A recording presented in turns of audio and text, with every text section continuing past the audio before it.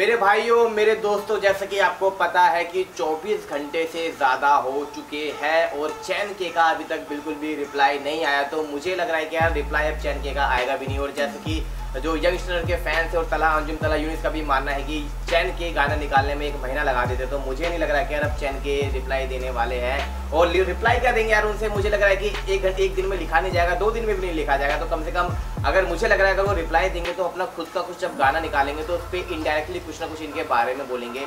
Directly तो मुझे नहीं लग रहा कि बोलेंगे।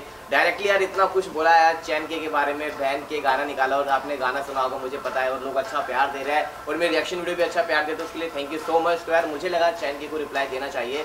और जब मैंने चैन के इंस्टाग्राम स्टोरी देखा तो यार उसमें काउंट चल रहा था कि भाई पाँच घंटे बचे हैं चार घंटे बचे हैं तो मुझे लगा यार बंदा यार मान गया चौबीस घंटे के अंदर रिप्लाई देने के लिए राज़ी हो गया।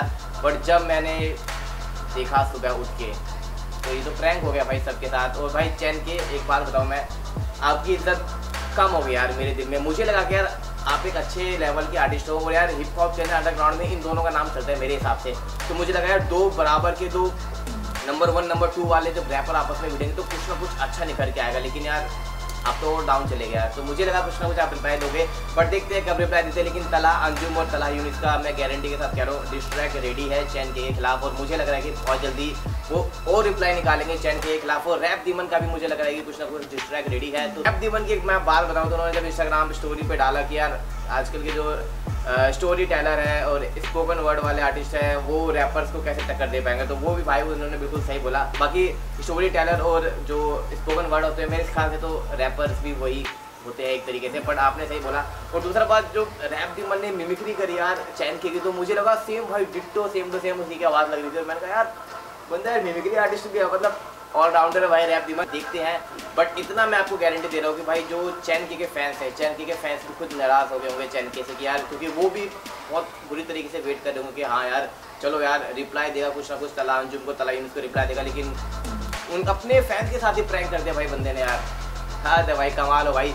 और बाकी देखते हैं क्या होता है, क्या नहीं तो बाकी आप मुझे बताएँ कि आपको क्या लगता है कि चैन की रिप्लाई देगा कि नहीं देगा और देगा तो कब देगा? बट इतना मैं गारंटी कह रहा हूँ कि भाई यंग स्टनर्स और रैप दीमन के रैप सॉन्ग रेडी है और इतना मजबूर कर देंगे चैन की को कि भाई सामने से आके वो खुद कुछ ना कुछ डिस्ट्रैक्ट निकालेगा या फिर माफ़ी मांगेगा या कुछ ना कुछ उनके फेवर में बोलेगा कि यार बात खत्म करो, मिलजुल के बात करो। ये चीज़ की भी मैं गारंटी दे रहा हूँ। बट यार चैन के लिए मैं थोड़ा नाराज़ हूँ कि यार मतलब जो एक हिप हॉपर है ना अंडरग्राउंड के जो हिप हॉपर है, सब बेस्ट कर रहे हैं। लेकिन कभी किसी से मैंने ऐसी उम्मीद नहीं की थी कि यार कोई बंदा चैलेंज दे के उस टाइम पे वो गाना नहीं निकालेगा। प्लस उसने बीट भी डाल रखी थी। मुझे लगा, भाई बीट है म्यूज़िक रेडी है लिरिक्स तैयार कर रहा होगा बट प्रैंक है शूटिंग बना दिया। तो देखते हैं क्या होता है क्या होता बाकी आप मुझे बताइए कि आपको क्या लगा ऐसा देख के और क्या लगता है कि यार कब तक चैन का रिप्लाई आएगा? और अगर इनका रिप्लाई आया तो खतरनाक वाली बीफ स्टार्ट होने वाली है तो जब तक वेट करो मस्ती करो बस आज मुझे यही कहना था।